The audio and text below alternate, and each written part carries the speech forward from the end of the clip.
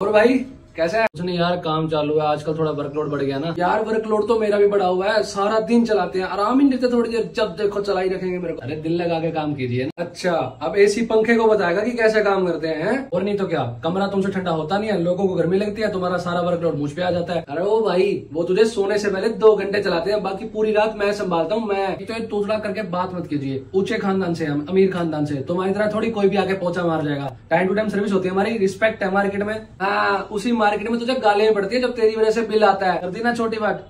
तुम लोग पैसा पैसा ही करते रहना। हम लोग परिवार को मिलाते हैं, नज़दीक लाते हैं। जब हम चलते हैं ना, सारा परिवार एक साथ आके बैठता है। मैं इससे बात कर, इस घर में माइनॉरिटी में है तू। हम हर कमरे में हमारी मेजोरिटी है। मेजोरिटी का रोक ना, कहीं और जाके चढ़ना जितना तुम सब लोगों की मिला के वैल्यू ना, उतना तो कल्ला मालिक मेरे ऊपर बिजली का बिल भर देते हैं एक महीने का। मालिक मालिक के लिए तुम कटपुतली हो कटपुतली मालिक तुम्हें कहीं से भी रिमोट दबा के चलाते हैं। और हमारे लिए हमारे लिए उठ के आगे बटन दबाएगा रिस्पेक्ट है हमारी। ऐसी बात है।